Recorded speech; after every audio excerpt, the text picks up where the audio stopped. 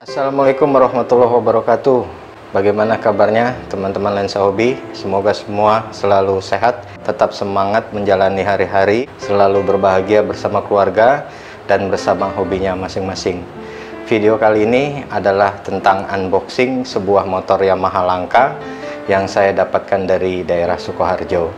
Mungkin uh, dari teman-teman semua yang saya lihat di komentar sebelumnya sudah banyak yang tahu ya bahwa motor tersebut adalah Yamaha Alpha Type Z atau tipe Z. Video kali ini menayangkan unboxing motor tersebut, bagaimana penampakannya. Mungkin e, nanti kita akan review motor ini lebih dalam.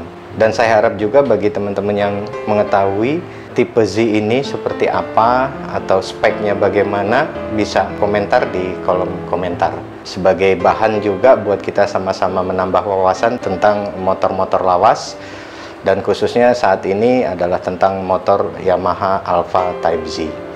Demikian, semoga video ini dapat menghibur. Salam hobi, lensa hobi.